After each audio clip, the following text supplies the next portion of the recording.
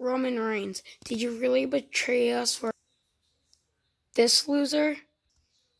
Seth Rollins is right. How how could you betray us for this pathetic idiot? Do you really think that of me, Roman Reigns?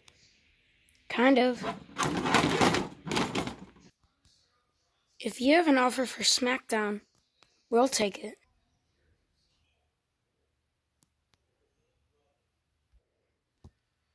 Come on. Let's go, Roman.